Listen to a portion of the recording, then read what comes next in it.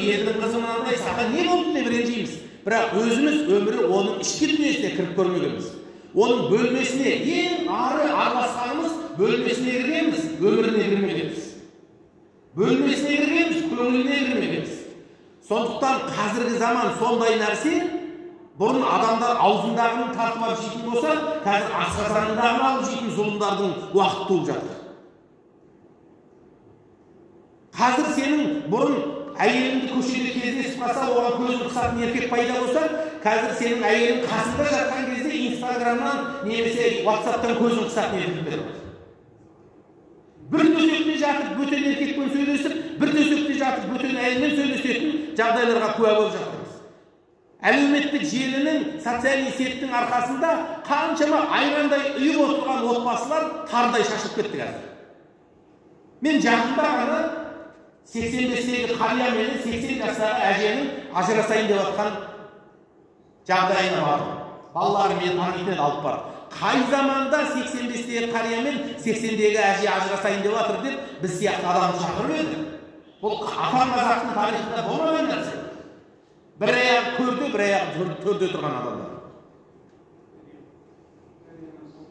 Сөйтсе жаңағы әжеміз күндіз түн сериал көреді. Атамыз жаңағы ей намазыңды оқып алсашы дейді соныменен ырың шығады. Бір уақытта бұлар кішкентайынан балаларды екі бөліп тәрбиелеген екен. Совет қоғамының бір жаман несі болған? Үрдісі. Мамасының балалары папасының балалары. Сонымен мама папасының балаларының ақшасы бар мамасының балаларының ақшасы жоқ. Мына жақта төрт бес бала мына жақта төрт бес бала. Сонымен мамасының балалары болып өскендер бір біріне жәрдемдеседі үй әпереді нәшін әпереді ал енді а папасының балалары мамасының балалары болған жағдайы жоқ көмектеспейді сонымен жаңағы бәйбіше айтады екен. Е ана балаларың айтсашы мына менің балама көмектеспейді өзің ойла сол шешеден туған сол әкеден туған бірақ бір үйдің ішінде алалап өсірген да мамин сынок папин сынок дегендей сөйтіп ұрыс ушыға берген ушыға берген ушыға берген соның күндердің күнінде керек мына әкесінің балалары мамасына сөйлеген мамасының балалары әкесіне сөйлеген аналар папама сөйлеме мамама сөйлеме деп төбелескен ең соңында ей ажырасайықшы екеуміз екеуміз ажыраспай жақсылық жоқ деп кемпір шал ажырасайын деп да жас кездегі балалар жас кезде кеткен қателік қартайған кезде адамдардың алдынан шығып жатыр да әрқайсымыз қазір ұл қыз өсіріп отырмыз өз баламыздың жүрегіне үңілмейтін болсақ онда міндетті түрде біздің баламызға көшеде біреулер үңіледі қазір баланы әке тәрбиелеп жатқан жоқ тәпе тәрбиелеп жатыр қызды шеше тәрбиелеп жатқан жоқ көше тәрбиелеп жатыр өкінішке орай өте көптеген біздің туыс туғандарымыздың отбасында өңі түгіл түсіне кірмеген жағдайлар болып жатыр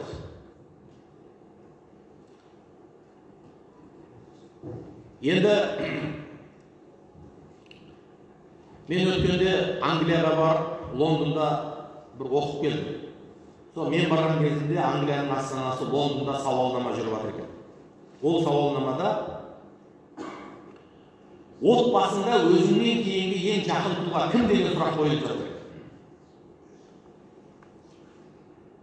сонда адамдардың лондонның тұрғындарының алпыс бес жетпіс пайызы өзімнен кейінгі ең жақын тұлға итім деп жауап жатты да итім менен кейін итім мен ең жақын мен түсінетін жанашыр мені күтіп алатын ұйықтасам тәпішкемді әкеліп беретін мен жұмыстан келсем арсалаңда күтіп алатын итім сонда мен таң қалдым бірақ жақында үйдің қасында паркке бардым сол паркте әңгімелесіп тұрсам бір қазақ өтіп бара жатыр итпен екінші қазақ өтіп бара жатыр итпен сосын ішінде біреу мені танып келіп сәлемдесті сосын ей сен қалада ит ұстап отырсың ба квартирада деп едім жоқ енемнің иті ғой деді енемнің үйіне келіп ол кісі қолы тимей маған итті паркке қыдыртып келші деп берді соны қыдыртып жүрмін деді жаңағы жігіт сосын бір уақытта енесі келіп қалды соныменен әңгімелесіп тұрып қалып мен мынандай сауал қойдым квартирада ит ұстау ит ұстау қиын ғой енді ауылда болса қойды күзетеді қораны күзетеді жаңағы үйге біреу келсе үріп дыбыс береді дегендей бір пайдасы бар еді немесе қалған тамақты жуынды қылып бересің әйтеуір бір пайдасы бар ауылда. Енді бұл енді қалай деп едім? Жоға ондай емес деді. Это же мой сынок бұл менің балам ғой бұл менің сырласым ғой бұл менің досым ғой. Адамдармен тұруға болмайды қазір. Неге дедім? Адамдар деген опасыз деді. Адамдар деген сатып кетеді. Адамдар деген жаны ашымайды. Адамдарға ақша үшін керексің басқа үшін керек емессің ал бұл ит деді мен өзіме не қаласам соны береді. Менен ештеңке претензия сұрамайды претензия айтпайды. Бірақ маған внимание керек болса мен итімнен керек вниманиені аламын өзіме а бірақ мен ешкімге бірдеңе бергім келмейді дейді потому что я хочу для себя жить мен өзім үшін өмір сүргім келеді. Зачем мен біреудің көңіліне қарап біреу үшін у уайымдап біреу үшін қам жеп не істеймін? Ал ит соған ең ыңғайлы жаратылыс сол ит деді жаңағы енді қарасам осы адам мен қазақпын деп паспортына жазып отыр осы адам жалғыз қызы бар екен соны жаңағы мені танитын жігітке беріп отыр бірақ ол не деп отыр итпен өмір сүрген удобный деп отыр да демек біз бұдан не түсінеміз егер біз адам адамның қадірін білмесе біз бір бірімізді адамшылықтан айырылып екен деп жанталаспасақ біраз уақыттан кейін сол лондондағыдай біздің де жетпіс сексен пайызымыз менен кейінгі ең жақыным ит деп жауап беретініне еш күмән себебі біз имандылығымыздан адамгершілігімізден қазақи қасиеттерімізден жайлап жайлап жайлап кетіп бара жатырмыз осыған жүздеген жылдар бойы кеше бізге басқыншылық жасаған бізді отар қылған елдер үйретті біз басқыншы болған елден не үйрендік өмірі ата бабамыз ішпеген шарап ішуді үйрендік анасымен дәрежесі бірдей болған енесін тещеде сыртынан мазақтайтын нәрсені үйрендік армияда дедовщина дегенді үйрендік қоғамда понятиемен өмір сүруді үйрендік боқтауды үйрендік боқтамасақ сөзіміздің тошқысын қоя алмауды үйрендік осы нәрсенің барлығы біз қазақ болмаса екен мұсылман болмаса екен ынтымақта бірлікте болмаса екен дегендерді бізге жайлап жайлап жайлап сіңірген нәрсесі. Ауру батпандап кіреді мысқалдап шығады. Тәуелсіздік алғанымызға отыз жыл болды. Әлі фейсбукта инстаграмда комментарийді қарасаң бір бірін жұлып жеп жатқан қазақтар. Бір бірінің жағасынан алып басынан төмен қарай былғап жатқан қазақтар. Осы күнге дейін мысалға қаншама адамдардан әртүрлі нәрсе естісек те мен ешқайсысымен ұрысып фейсбукта инстаграмда таласып немесе артық сөз жазбадым. Неге? Себебі қазақты түсініп тұрмын. Ол әлі санасы тәуелсіз емес. Біреу фуйт деп қалса былай қарай шабады фуйт деп қалса былай қарай шабады өзінің ойыменен анализ жасап ә тұра тұр. Мынау өзі намаз оқыған сақалды не үшін қойды екен мына не үшін асыларынан ашып жатыр екен деп ойланып қарайтын қазақтар олар тыныш отыр. Ал бірақ жаңағы кетіп бара жатқан тазға хыш деген кезде былай жүгірген сияқты итке фас деген кезде былай жүгірген сияқты әлі күнге дейін қазақ көрсе осы өршелене шабатын адамдар арамызда кездеседі. Абай айтады біріңді қазақ бірің дос көрмесең ісің бәрі бос тәуелсіздігің де елің де жерің де бәрі бос. Егер біз бір бірімізден жақсылық іздемейтін болсақ бір бірімізге махаббат мейіріммен қарамайтын болсақ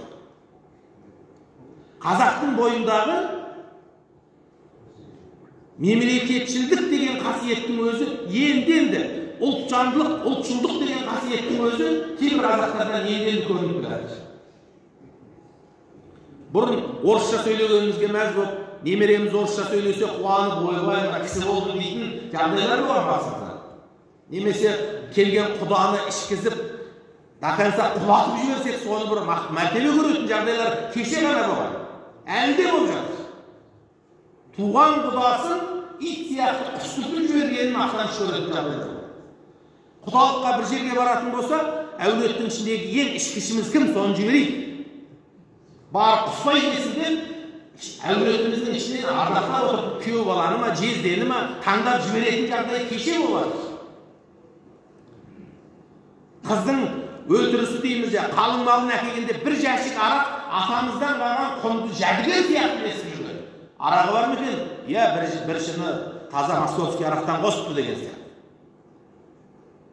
сондықтан біз әбден езген жаншыған шайнаған диірменге түсіп шыққан халықпыз. Сондықтан біз қазір бір бірімізбен ұстасып бір бірімізбен бәле емес жоғымызды төлейтін. Қалай осы қызымыздың арын сақтап қаламыз? Мына ұлымыз сүмелек болмай қалай бір ер азамат болып шығады қызымыз әркімнің аяғына тапталып кетпей қалай бәйбіше болады жақсы? Осыны не істейміз деп ойланатын кезге келіп тұрмыз қазір ағайындар енді біз осы сәттен жақсы өтсек өттік жақсы өте алмасақ құдай сақтасын біраздан кейін итпен тұратынның көкесі қазақтан шығайын деп. Қазірдің өзінде қарттар үйіне барып бала шағасымен тұра алмай жатқан адамды мен көріп отырмын. Басында тақия қолында тәсбі мен бала шағаммен тұра алмаймын намазыңыз бар ма? Бар. Намаз ұйыта алмай жатыр өйткені ауру дендеп эгоизм ісіп кеткен өмір бақи ішкен ана шахтада орыстармен ішкен таксист болып тағы аң сияқты өмір сүрген намазға жығылған маңдайы сәждеде қолында тәсбі бірақ адаммен тұра алмайды адаммен бала шағасымен тұра алмайды нервін шыдамайды немерелердің жылағанын көтере алмайды көргім келмейді бала шағаны деген сөзді мен мына құлағыммен естідім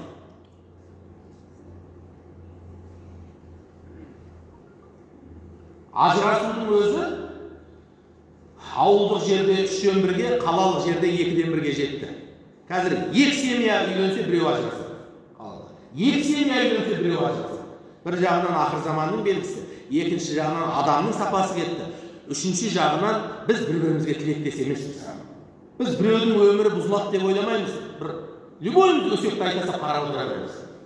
Любойымыз бір бірімізге суық сөзді айта салып не болса ол болсын деп тартып жіберіп отыра береміз.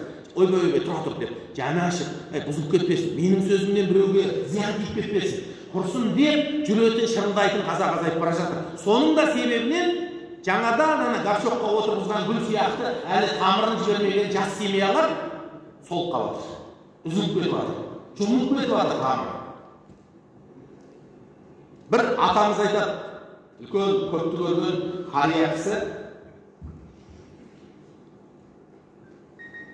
өмірі біреудің баласын ұрыспайды ойнап жатады дастарханның үстіне шығып кетеді анда жүреді мұнда жүреді тоқсанға келген қария ғой. Өмірі біреудің баласы әй деп сөйлемейді сосын бір күні інісі сұрапты ата көке осы сіз қанша бұзықтық тентектік қылып жатса да біреудің баласын ұрыспайсыз неге? Сөйлемейсіз. Сонда жаңағы қария айтқан е шырағым депті дүние мен ақыретім жақын бір аяғым төрде болса бір аяғым көрде тұрған адаммын депті қазір қарияның сөзін қадірлеп мына бейшара айтып жатыр ау деп қадірлейтін келін бар ма депті мен қазір мынаның немересіне әйт деп қалсам е қуақбас менің баламды көріп қалдың ба тыныш отыр десе өлдім ғой депті сол сөзбен көрге кірген ғой депті жаңағы одан да осы быламығымды ішіп тыныш отырайын келіннен сөз естіп кесіліп жатқанша одан да немере шөбере басыма секірсе де тыныш отырайын деп айтты қазір ақылды қариялардың өзі сондай қорқып қалған бір келіннен сөз естіп қалам ба құрсын деп отырады да қазір сондай бір адамдарда кесір кесепат бір мінез мына дүниені көбірек ойлау ақыретті артқа шегіндіру сияқты қасиеттер болып тұрған кезде біз әрқайсымыз абайдың мына бір шумағына қатты көңіл бөлуіміз керек ағайындар. Бір жерде бірге жүрсең басын қосып біріңнің бірін сөйле сөзің тосып. Біріңді бірің ғизат құрмет тұтқын тұрғандай бейне қорқып жаның шошып. Біріңді бірің ғизат дейді құрмет деген сөз ғой. Біріңді бірің ғизат құрмет тұтқын тұрғандай бейне қорқып жаның шошып как будто содан қорқып тұрғандай құрсыншы бәлесін аулақ бірдеңе шығып кете ма деп тұру керек дейді. Заман соған келді. Өйтпесең қазір жастар ажырасып кетеді. Бір ауыз сөз айтсаң қазақ не дейді? Бақпасаң бала кетеді қарамасаң қатын кетеді дейді. Қазір кейбір інілерімізді мен былай мотивация беріп ей келінге қарамайсың ба? деген сөзді айта алмай жатырмын. Неге? Баланы қаттырақ қыссаң келінге өй! деп қалса келін жинайды да кетіп қалады ана ініміз оны қайтарып алуға шамасы да жоқ. Сосын жүргенім шулап екі ортада гу гу етіп. Қазір інілерімізді қатты қыса да алмайсың. Өйткені неге? Кейбір қыздар інілерімізге қарағанда пысығырақ кейбір қыздар інілерімізге қарағанда қабілеттірек. А кейбір інілеріміз бар намыс деген кеудені ұрған кезде тартпасы үзіліп кете жаздайды бірақ братанына көмектесіп жүруге намысы жібермейді қарапайым шаруаны істеп жайлап жайлап көтерілуге шыдамы жетпейді абай не деп айтады қазақтың дерті дейді бір ақ секіріп шығып бір ақ секіріп түседі да мерті кетте жатады біз сразу миллион табуымыз керек сразу мінуіміз керек сразу басып кетуіміз керек жайлап жайлап еңбектеніп жету деген қасиет қазақтың жігіттеріне қазір арман болып жатыр. Қай заманда да ағайын туғандар? Алланың жақсылығы көп қой алланың ынтымақ берекесі көп. Қазір ватсабың да инстаграмың да фейсбугың да тик тогың да барлығының ең бізге тигізіп жатқан бір зиянын айтайын. Бізді ойландырудан кетіріп жатыр ойланбайсың тик токты бүйтіп отыра бересің сағаттап ол алдынан шыға береді шыға береді көкпар көкпардан кейін авария авариядан кейін ырбаңдаған қыз одан кейін жалаңдаған жігіт шыға береді шыға береді шыға береді өстіп отырып таңдатқызып жатқан адамдар қазір ойланбайды өйткені мына ә, томассон деген атақты мына нені лампочканы ойлап тапқан ә, ғалым бар томас эдисон сол айтады эдисон айтады адам баласы ойланудан қалған дүние тіршілігі тоқтайды. Дейді адам баласының ең қасиетінің шыңы дейді. Ойланып жүру дейді да. Өзінің ісін ойланып жүру бала шағасын ойланып жүру өмір туралы ойлау құдай туралы ойлау ақырет туралы ойлау. Бір пәс бір нүктеге қарап ойланып отыру. Құлшылықтың да шыңы ихтикаф. Мына қасиетті рамазан айында тіптен ораза ұстап жатсаң да күндіз түні құран оқып жатсаң да садақа таратып ауыз ашып жатсаң да ихтикафтың берген ләззатын бермейді. Ихтикаф деген не ол? Оңашаланып ойлану. Оңашаға отырып мешіттің ішінен өзіңе бір шатыр тігіп алып ойланып отыру адамның ең биік дәрежеге апарып көтеріп тастайды ал қазіргі біздің тик ток инстаграм ватсап дың кешке дейін келіп жатқан сообщение адам баласын ойландырудан әкетіп бара жатыр біз ойланбайтын болып бара жатырмыз біраздан кейін әкеміз қайтыс болып кетеді. Охо қадірін білмеппін ғой. Шешеміз кетіп қалады. Қап тірісінде бір жақсылап бір ризашылығын алатындай бір нәрсе істемеген ұнайды біраздан кейін әйелің қартайып ауруға ұшырайды. Ох жас кезінде бейшараны күндетіп алақанына салмағандай күйеуіңнің жүйкесін жеп қоясың. Біраздан кейін қап күйеуіңнің денсаулығы жыландай еді. Қарашы жүйкесін жеп қойған. Өкініп жүрген елде есеп жоқ егер ол өкіне алса. Өкінбейтін қаншама адам бар. Сондықтан бауырлар алла тағала бізге керемет өмірді берді. Былай қарасаң ата бабамыз мұсылман болды. Ана европалықтар сияқты олар исламға келу үшін ойлану керек. Салт дәстүрінен бас тарту керек. Төңірегінің бәріне кетісу керек. Сөйтіп барып исламға бірақ біз құдайға шүкір исламдамыз аллаға шүкір мұсылманбыз. Тамағымыз таза иіс шығып тұрады қазақтың үйі жоқ. Қай қазақтың үйінің ішіне барсаң тазалық дастархан ізгілік құрмет. Біз осындай ұлт болдық. Ана бақа шаян жеп жыланның сорпасын ішіп отырған ел емеспіз. Ана қабірдің басына барып поминка деп арақ ішіп отырған ел емеспіз. Құдайға шүкір дәрет ұсуды білмейтін ел емеспіз. Біз түніміз де таза күніміз де таза аузымыз да таза ауымыз да таза барлық жағынан алла тағала тазалықтың үстіне қойған бір елміз бізге жетпей тұрған нәрсе қазір осы ойлану ғибратлану қарау бір пәс өмірді дастарханмен дәретхананың ортасында өткізбеу мұсылман болып тұрып осынша ұлы нығметті болып берілген кезде біз қазір кейде ойланудың орнына сол іштік жедік жаттық тұрдық іштік жедік жаттық тұрдық болып да. Міне сондықтан да біздің балаларымыз ғылым білімнен гөрі қызықшылықты пранкты приколды алдыға салып кетіп жатыр ағайындар. Енді сөзді қорыта келген кезде айтарымыз ағайын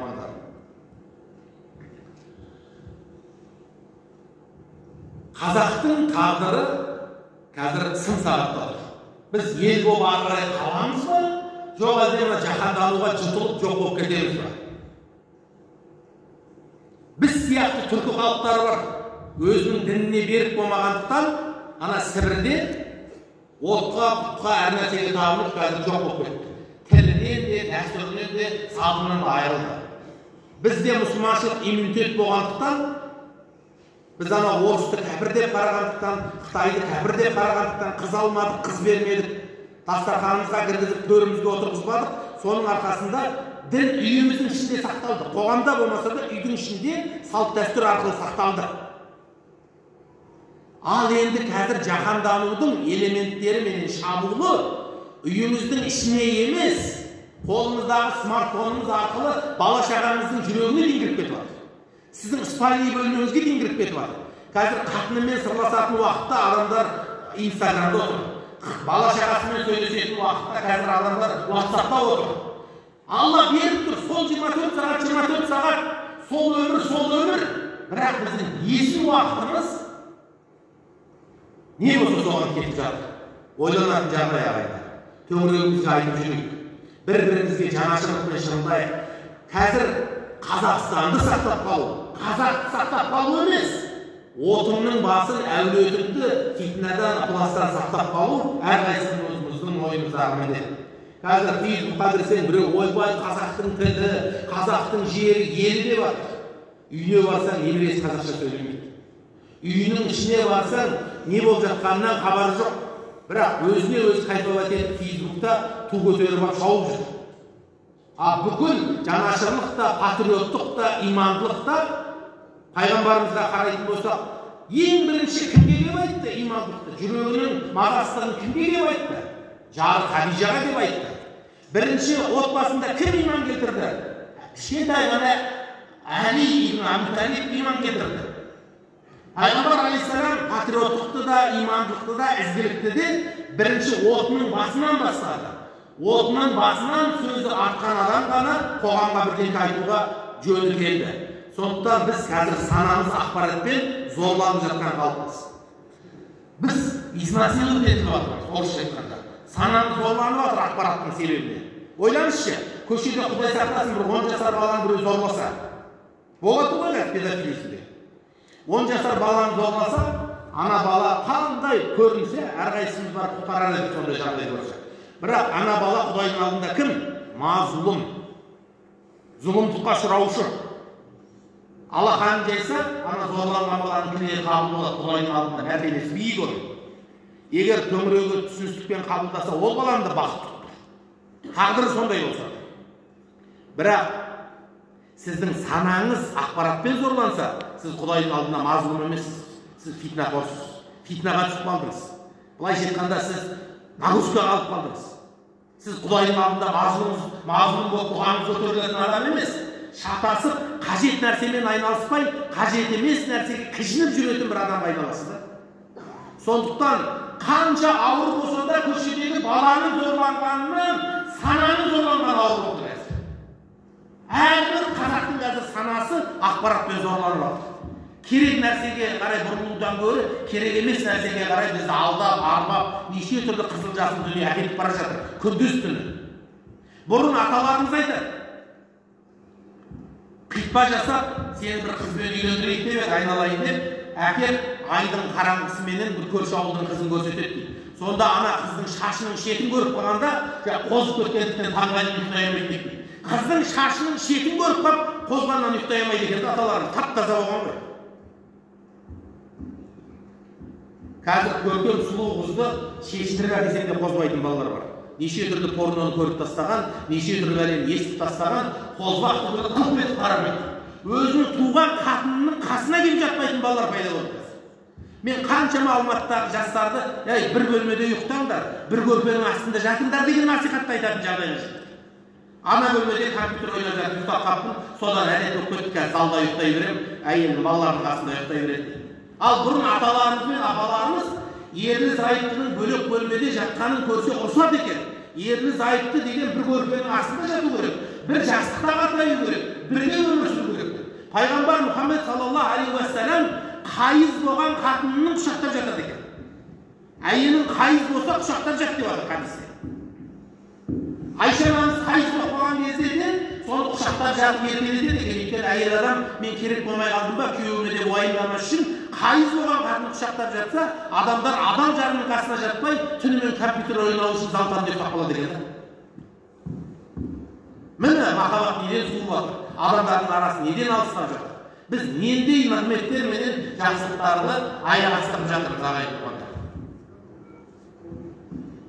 сондықтан егер ауылға келген қонақ еді республикада елмен жұртпен араласып жүреді осы кісіден бір ауыз бір нәрсе сұрайық деген бір сауалдарыңыз болса сіздерге мүмкіншілік берейін.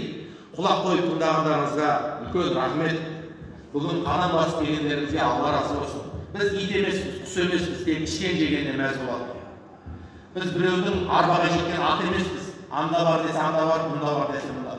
Бізге алла ақыл берді алла сана берді. Біз мына дүние ғана емес ақыреттегі ахуалымызды да ойлауға тиісті адамбыз сондықтан құранда не дейді алла тағала? Оттары адамдар мен тастардан болған тозақ отынан отбасыларыңды бала шағаңды жан ұшыра құтқарыңдар дейді. Мен сол үшін айтып жатырмын осыны ағайындар. Көзім көргесін айтып жатырмын. Итпен тұрып жатқан қазақтардың қасында тұрып сөйлесіп жатырмын. Гей болған жігіттермен сөйлесіп жатырмын. Маған күн сайын менің инстаграмда бір миллион сегіз жүз мың адам бар. Күн сайын жазады. Аға мен еркекпен тұрғым келеді. Не істеймін? Көмектесіңізші. Маған әке шешем мені білмейді. Ал мен болсам маған әке шешем қашан келін түсіресің жүр. Ал менің армандайтыным еркек одан басқа нәрсені ойламаймын. Аға көмектесіңізші деп жылап отыр қазақтың жігіті сондықтан да кішкене шырылдаңқырап айтып жатқаным сол. Әлі құдайға шүкір ауылда кеңшілік бар. Ауылда аллаға шүкір бір уақыт жай өтеді қалаға қарағанда бәрібір ынтымақ бар қара жұмыс бар тіршілік бар адал еңбек бар енді қалай болғанда да жерде бірақ ауылдың өзіне ватсап келді ғой. Ауылдың өзіне инстаграм келді ғой.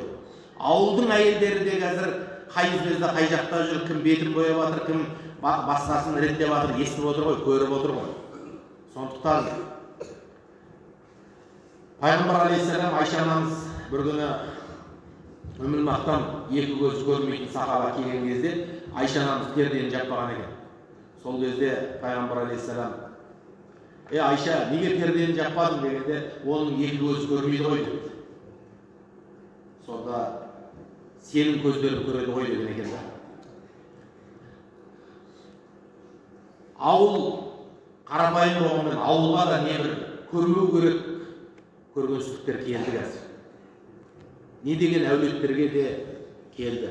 Қазір мен бір әулетке барғанда ажырасқан адам туралы айтып айта алмаймын себебі. Әрбір әулетте қайтып келіп отырған қыз бар. Әрбір әулетте келін ұстай жатқан ел бар. Әрбір үйдің бір айта алмайтын қасіреті бар қазақ айтады. Асылып өлген адамы бар үйде арқан туралы айтпа дейді. Қазір айта алмайтын тақырыбымыз көбейіп баратыр күн сайын. Бұрын ақсақалдар келіп бетті тіліп тұрып айтатын әжелеріміз келіп аузын толтырып тұрып айтатын тақырыптарды біз айналып өтетін болдық неге? Ойбай ана көңіліне жатқанмас мынаған тиіп кетпесін. Ойбай ананың осындай дерті бар еді соған біз есіне түсіріп қоймайық. Мінекей осындай жағдай әрқайсымыздың басымыздан өтіп жатыр. Жүрегің қанжылайды. Жаның ауырады көз алдыңда кешегі кекті атқа мінген айғырдың азуын айғырдың ауыздығын тартқан кезде сұлулығынан қан ағызған мықты жігіттер бұраң бұраң етіп тар шалбарды киіп алып билеп жүргенін көргенде. Кеше менің қатыным болшы деп айтуға жүрегің духың жетпейтін небір сұлу қыздар көшеде жезөкше болып тұрғанын көрген кезде жүрегің қанжылайды. Ә бір жерге он мың теңге түсіп қалып балшық болып жатса да обал ғой дейсің ғой. Ал қаншама адам неше түрлі тағдырдың тәлкегіне ұшырап кетіп жатыр. Сондықтан енді арслан ұстаз рұқсат болса бір ауыз бір сұрақ бар шығар жалпы. Соған мүмкіншілік берейін. Егер кімде қандай сауал болса.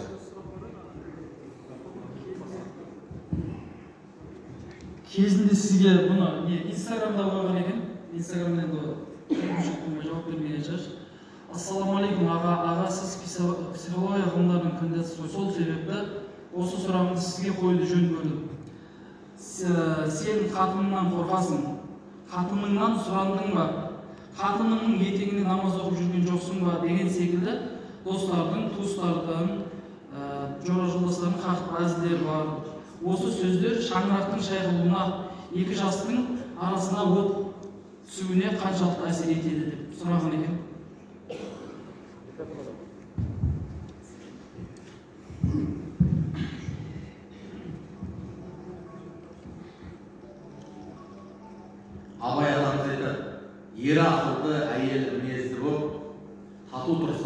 Қой үстіндегі дейді райыс деп жәннатты айтып ері ақылды әйелі мінезді боп тату тұрса жәннат қой үстіндегі жалпы қатыннан қорқу менен қатынды сүннет бойынша сүюдің ортасында бір нәзік жол бар егер біз сол нәзік жолды ұстай алсақ ешкім бізді издевать етпейді ешкім бізге прикол ұстамайды біз көбінде я былай өтіп кетеміз я былай өтіп кетеміз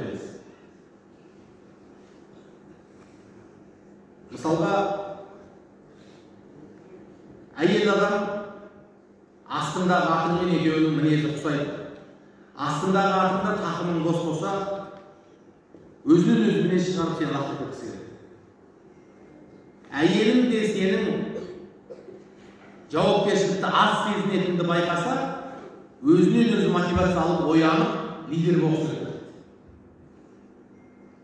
сондықтан ер азамат үйдің ішінде жауапкершілікті барынша арқаласа барынша өзін қинап шешім шығарған кезде махаббат мейірім көрсеткен кезде кеңшілік көрсеткен кезде әділетті болуға тырысса ол үйдің әйелінде алла тағала қабырғасынан жаратқандықтан барынша бір шектен шығып ләғнетке ұшыраған біреу болмаса күйеуіне бағындырып қояды. Сен көшеде біреуге қарамасаң әйелің біреуге қарамайды деген қағида бекерден шыққан жоқ. Немесе бір көшеде күнә жасап келсең алла сені тазарту үшін әйеліңнен астыңдағы атыңнан бір мінез шығарады деген сөз бекер емес. Өйткені алла тағала әйелді басқа топырақтан жаратса болар еді. Адам алейхисаламды да топырақтың сапалысынан жаратты ғой. Сондай сапалы топырақтан хауа анамызды жаратса болар еді. Бірақ өздеріңнен жараттым деп жүректің тұсындағы қисық қысқа қабырғадан жаратқан екен. Не үшін? Жақсылық көрсең де бірден реакция береді жамандық болса да бірден қаның ішіп қояды. Әйелден келетін реакция өте тез болады. Я тоздырып жібереді я бағыңды жандырып жібереді. Сондықтан жаңағы нәзік ұстайды бір күні пайғамбар мұхаммед саллаллаху алейхи уассалам түнде тұрады да сыртқа шығады пайғамбардың түнде тұрып бара жатқанын көріп айша анамыз жаман ой келеді менің түнімде бұл басқа әйелдің үйіне бара жатыр сонда қараңыз жалпы әйел адамға жаман ойдың кіруі еркектен гөрі оңай екен әйел адамға тез ой бірақ ол оның арамдығы жамандығы деген сөз емес әйел әлсіз болғандықтан әйел адам бастаушы емес көбінде еруші болғандықтан шайтан кіріп шығып тұрады екен ойына сонда жаңағы жаман ой келеді менің түнімде айша айшаның түнінде күйеуім басқа әйелдеріне бара жатыр ма деген ой келді сосын тұрады да артынан аңдиды жалпы әйелдің сотқа шұқылауы сотканы тексергісі келіп тұруы ол қай заманнан әйелдерде бар қасиет екен да соныменен жаңағы айша анамыз аңди бастайды пайғамбар алейхисалам тұрады да бақи деген қорымға келді енді өздеріңіз мәдинада болсаңыздар білесіздер пайғамбар алейхисаламның үйі мен бақидың арасы бір екі жүз метр ғой сөйтіп бара бақиға қарай барады бақи деген қорым кісі сахабалар жерленген сол жерге келеді да я ассалаумағалейкум қабір иелері алла қаласа біз де сіздерге қосыламыз алла баршамызды рахымын алсын деген дұғаны оқиды. Көреді басқа үйге барып жатқан жоқ айша анамыз тез тез асығып келіп орнына жатады пайғамбарымыз алейхисалам да келіп төсекте жатса айша анамыз дем алып жатыр деп жаңағы ентігіп жатыр келеді да айша анамыздың иығынан неге үйттің деп ұрады. Жасқайды былайша айтқанда сес көрсетеді сонда айша анамыз не дейді? Егер біз қабірге барып қалсақ я алланың елшісі бізде не айтуымыз керек? Сонда пайғамбар алейхисалам иә қабірге барып жатсаңдар мына дұғаны айтасыңдар деп жаңағы қабірге айтады енді осы аз ғана көрініспен аз ғана диалогтан біз не түсінеміз? Біріншіден қарайықшы өзіміздің өмірімізді қойып көрейік. Пайғамбар алейхисалам еркек болып сес көрсетті. Неғып олай жүрсің деп ендігі уақытта міне осы кезде айша анамыз не істеді? Ақталған жоқ. Енді жүргенде былай ғой енді бір әйеліне кетіп бара ма деп ойладым деп әңгімені көбейткен жоқ не істеді? Бірден мәселені үлкен тақырыпқа бұрды. Мойындап тұр аңдығанын көргенін де айтты қабірге барсақ біз не айтуымыз керек деп яғни мен сені аңдыдым не істегеніңді көрдім деген сөз ғой қабірге барсақ не істейміз деді сонда пайғамбар алейхисалам мен қабірді қоя тұр сен вообще неғып аңдып жүрсің мені деп әңгімені бұрған жоқ әйелі бейбітшілік қалап тұр ма сол бейбітшілік қалаған жерден ары қарай бейбіт әңгімені жалғастырып кетті иә қабірге барсаңдар былай былай деп дұға қыласыңдар отбасындағы көбінде біздің ортамызда әйел әйелін тыңдайтын сияқты болып көріну немесе әйеліменен салғыласудағы ең үлкен мәселе сөз қуу деген нәрсе. Әйелді де зұлымдыққа ұшырататын еркекті де зұлымдыққа ұшырататын нәрсе сөз қуу. Қазақ айтады ғой бәлез деме бәлез деген бәлеге жолығады адам ынтымақшыл болу керек. Мына пайғамбар алейхисалам айтады омар қайтқыш еді омар халифа омар ибн хаттаб жайында айтқан кезде не деп жатыр омар қайтқыш еді дейді да. бір нәрседен тез қайтады екен болып. бір хақиқат жетті ма? тез қайтады екен да сонда өмірде қарасаң кімнің үйінің ішінде ынтымақ болмайды екен? сөз қуғанның үшін бәле қуғанның үшін жоқ тұра тұр ұсталдың міне мен саған конкретно айтайын. сен осы жерде десең ол ол сенің ақиқатың ешкімге керек емес. сен оған әйел беріп жатқан адамсың басқа ешкім емес. Немесе жоқ ол былай ғой десең ол да керек емес сен ақталып жатқан адамсың. Сондықтан бірінші поворотта қайтып кету керек негізі. Алдыңнан бірінші поворот шықты ма сол жерден бұрылып алып былай қарай таю керек. Көбінде әйел адам күйеуге бір претензия айтқан кезде қырық минут елу минут айта береді. Бірақ соның ішінде айтқым келеді деген бір екі минут бар негізі. Соны тауып алу керек. Оның алды артындағы отыз қырық минутты вообще ескеруге болмайды. Ол бір сорпасы ол. Ол бір сөздің көбі керек. Ана екі минут әңгімені айту үшін басталған нәрсеменен соны аяқтай алмай барып ол жақтан ана табаны қызып алған ат қайтамайды ғой бір алыстан қайтады ғой ар жақтан барып. Сол сияқты әйел кейде бір әңгімені бастайды да қайтамай қояды сөйтіп қай қайдағы қозғамаймын деген проблемаларға кіріп кетіп қырық жылғы дауды қозғап жібергенін білмей қалады. Міне осы кезде еркек еркек сияқты болу керек. Еркек кесек болу керек. Еркек ер мінезді болу керек. Еркек өсек болмау керек. Еркек ұсақ болмау керек мелочник болмау керек. Еркек кейбір нәрсені естімей қалу керек. Кейбір нәрсені білмей қалу керек. Ішінде өзіңе керек бір екі минут бар сол екі минутқа бағана пайғамбар алейхисалам секілді тық еткізіп жауап беру керек ары қарай темадан шығып кету керек ал кім каждый сөзге жауап береді оны қатыр мінез еркек. Ондай сөз қуған адамның үйінің ішінде де сыртта да абыройы болмайды. Сондықтан қазіргі еркектің ең керек мінезі сөз қумау осы комментарийға кірсең де инстаграмға кірсең де фейсбукқа кірсең де көпіріп көп сөз айтып отыратын еркектер кездеседі.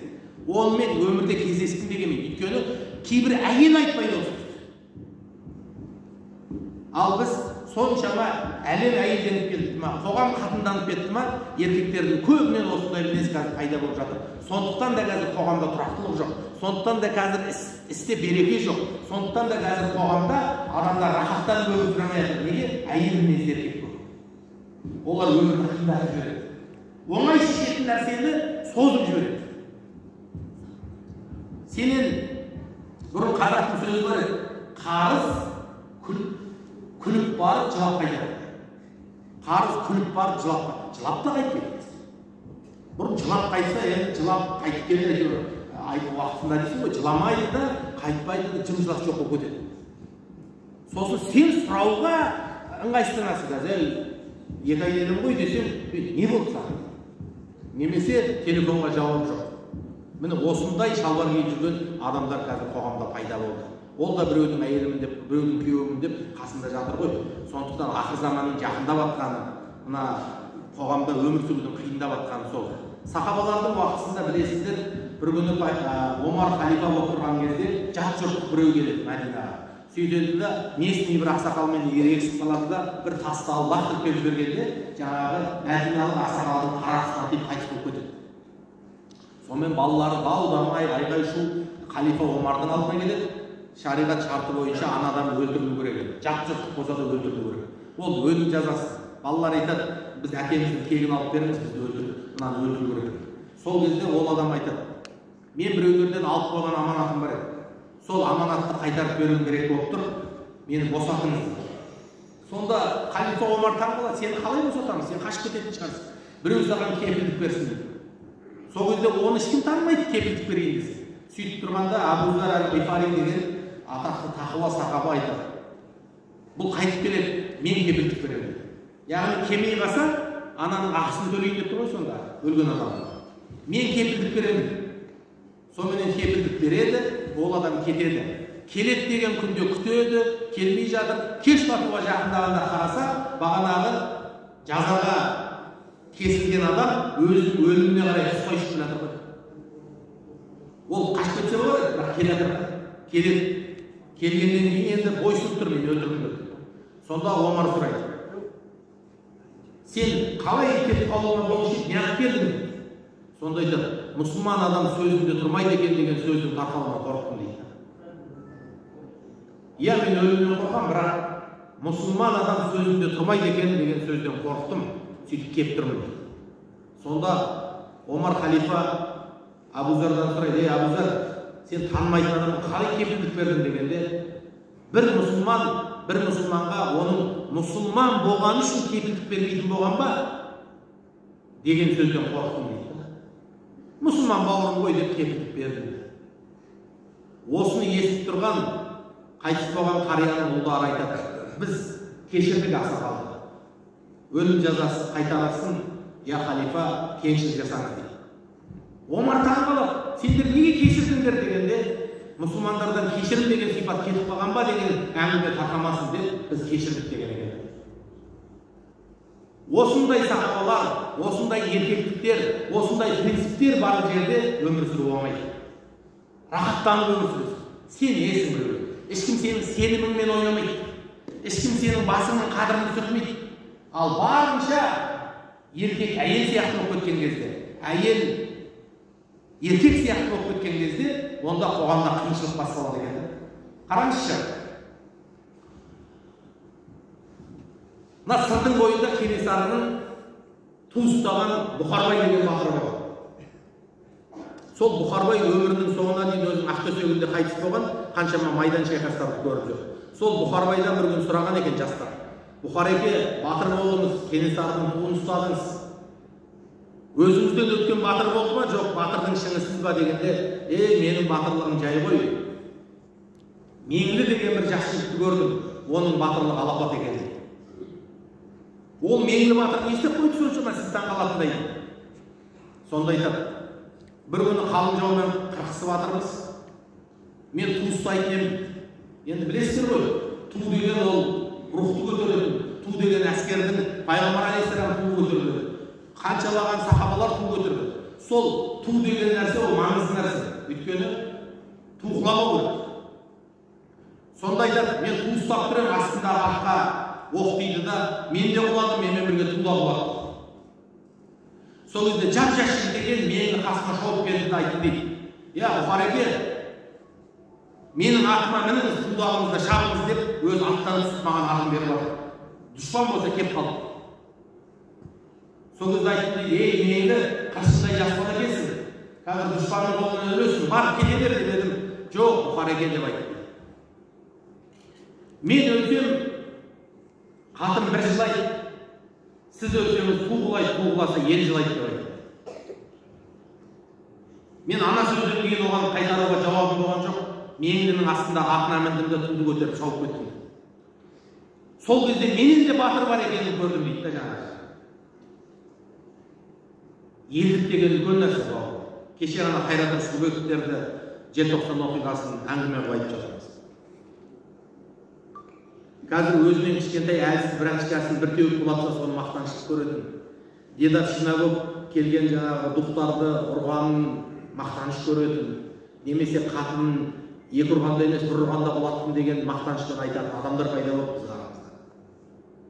Біз кеше бұхарбайдың меңдінің кенесарының төле бидің бауыржан момышұлының қандастары едік жерлестер едік.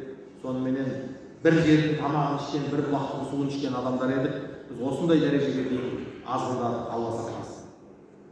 Мына түркияның әскері натоға кіреді әлемдегі ең мықты әскер деді қазір байрақтарды естіп жатырсыздар ғой сол түркияның әскерінде мен түркияға жиі барып тұрамын. Армияға барғандардың бәрінен сұрадым. Дедовщина бар ма сізде? Дедовщина жоқ.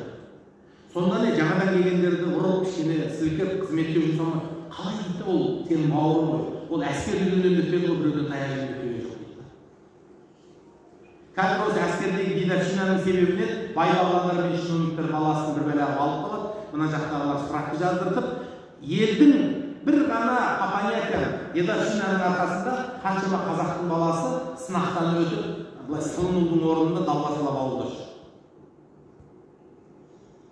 империя болған елдер құл болмаған елдер бірінің қадірін бірі біледі. Еш уақытта бөгенбай қабанбайға немесе кенесары наурызбайға дедовщина болып әлімжетті көрсеттік деген тарихта жоқ. Қазақтың тарихында керісінше кенесары туған бауыры бауыры наурызбайдың тізгінін тартуымен болған. Наурызбай туған інісі кенесарының. Енді тарихта бірнеше наурызбай бар білесіздер. Кенесарының туған інісі наурызбай бір күні балқаштың жағасынан жолбарыс ұрып алады сөйтіп жолбарысты қазақ үйдің алдына жайып тастап бүкіл ел ойбай науанжан науанжан жолбарысты ұрып деп таң қалып жатқан кезде кенесары келеді да не дейді әй науанжан не болды бір мысықты өлтірдің деп соншама еліп тұр бер ана бір ақсақалға жүр үйге қайт сөйтсе ана наурызбайдың батырлығы өте мықты болған екен да сол бірдеңкеге ұрын қалмасын деп керісінше оны тәрбиелеп керісінше оның артында арқа сүйері болған екен.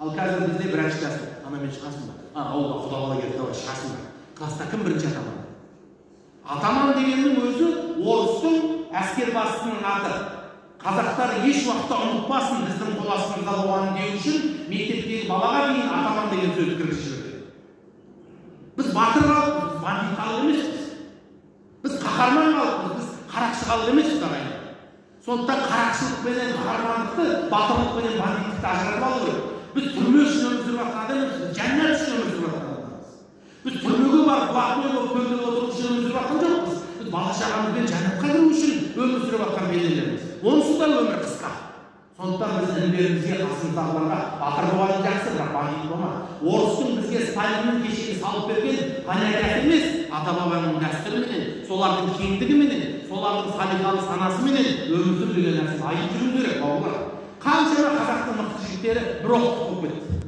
айдаладағы біреудің ортаға жақтан от ұшты рахмет тағы кімде қандай сауал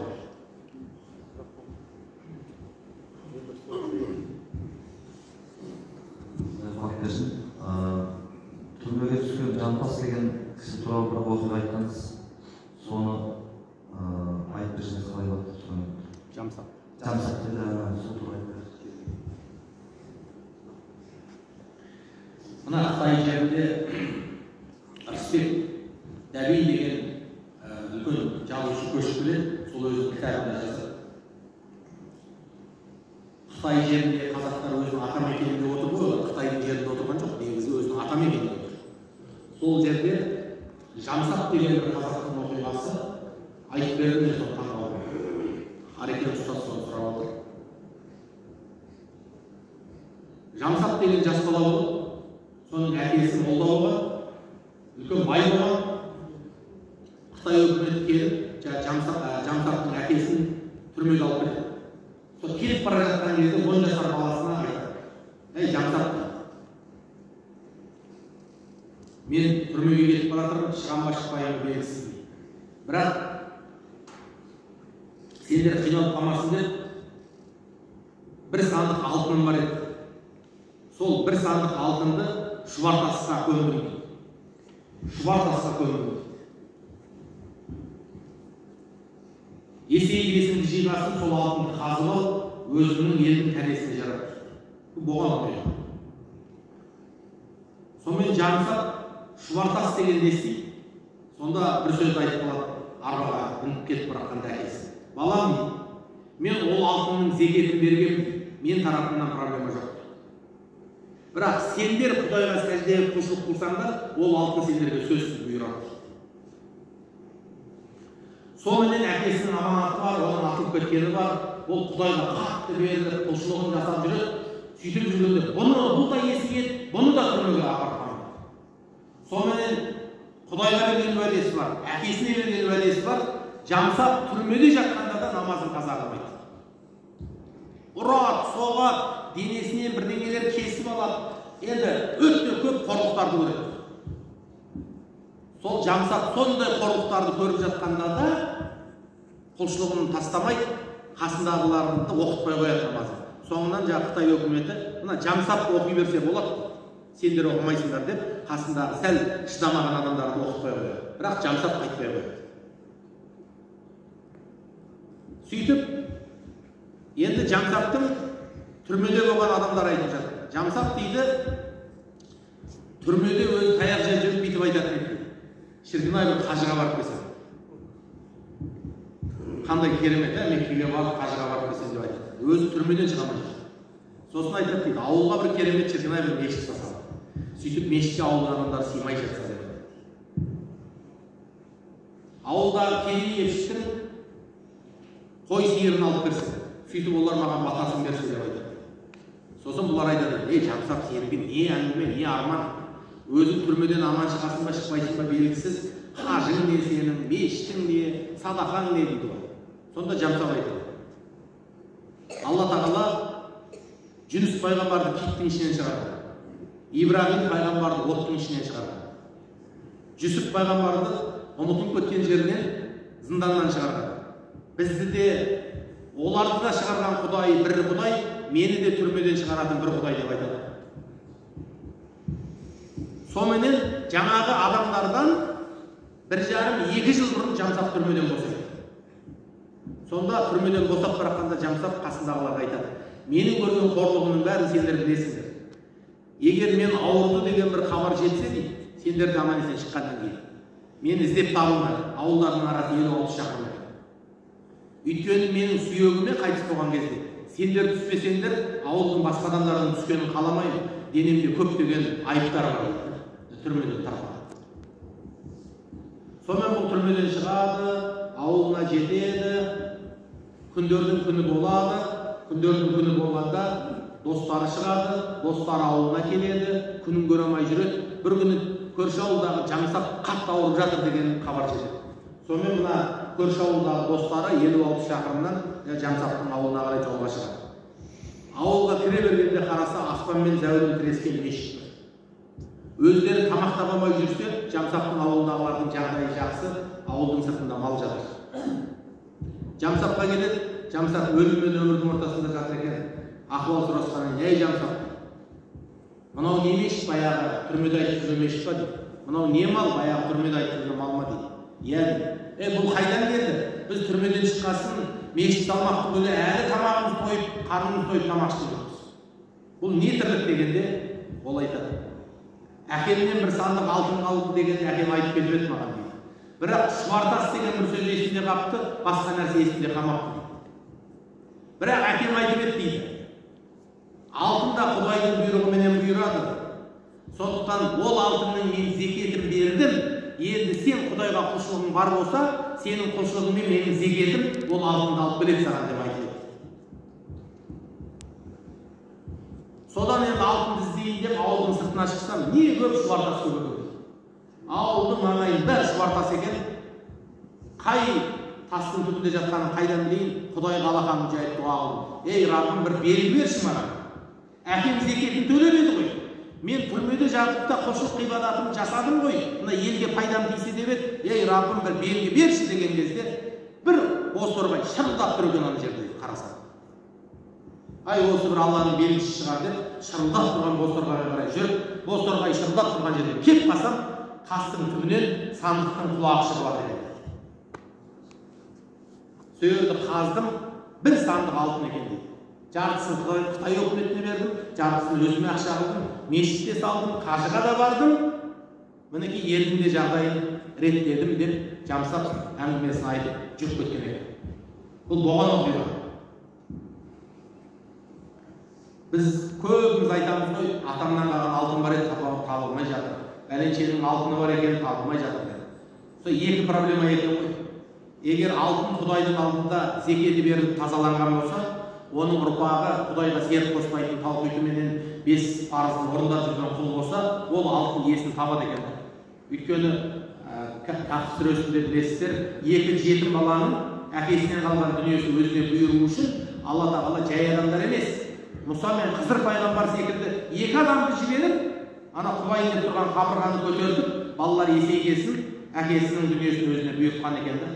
Сондықтан біз көбінде бала шағамыз баршылықта өмір сүрсе екен. Тоқшылықта болсын дейтін болсақ өзіміз тақуа болуымыз керек. Өзіміз құдайдың алдында әділетті болуымыз керек. Шамамыз келіп тұрған құлшылығымызды жасап шамамыз жетіп тұрған күнәдан тыйылсақ алла тағала біздің баламызды да аш қалдырмайды оларды да өзінің панасына алады екен сондықтан бағана сөзіміздің басында айтқандай адам болып келдім өмірге адам болып өту арманым дегендей ағайын туғандар мінекей аналарымыз отыр әжелеріміз отыр үлкен рахмет сіздерге. Біздерді сыйлап келдіңіздер дүниеге қанша перзент келтірдіңіздер қанша ауыртпашылық көрдіңіздер жақсылық көрдіңіздер. Бұл аналарымыз қалай құрметтесек те құрметтеуге тұратын аналар. Себебі біз қызымызды қыз кезінде еркелетіп бүкіл инвестициямызды білімімізді махаббат мейірімімізді ұлдан гөрі қызға көбірек салу керек өйткені ол қонақ қой кетеді қазақ ұлдың жолы ұлы жол қыздың жолы қысқа жол деп ұлдың жолы ұлы жол болатыны ол ел үшін қамшы ал қыздың жолы нәзік болатыны ол қызды біреулер қорғап жүрмесе отбасы опық жеп қалу оңай деген сөз сондықтан қазақ сырттан базардан келсе де қонақтан келсе де бірінші сыйлықты қызға берген екен өйткені қыздың жүрегі ренжіп қалса оның көңілі ұзақ уақыт бойы орнына келмей тұрады. Екен ал ұл бала ренжіп қалса бір айналып келіп ұмытып кетеді.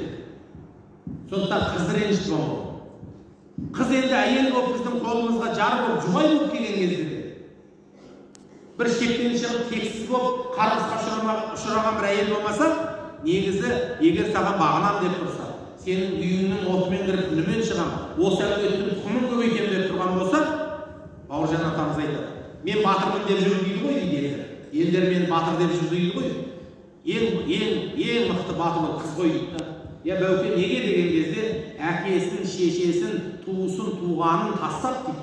Бөтен біреудің үйіне кіріп соның ұрпағын өсіріп сол үйдің ішінен орнымды тауып соларды бақытты қыламын деп келген қыз батыр емес па? Мен бір жерге қонаққа барсам бір аптадан артық жүре алмаймын дейді. А қыз бүкіл өмірін арнап келіп отыр ғой соларға міне батырлық әрқайсысын қыз өсіріп отырсыздар алла қыздарыңыздың бағын ашсын барған жерлерінде бақытты болсын жақсы күйеу балалар нәсіп етсін қызыңа жақсы күйеу бала нәсіп болсын десең өзің де шікіреймей қайын жұртпен ерегіспей өзің де жақсы күйеу бала болғаның жақсы.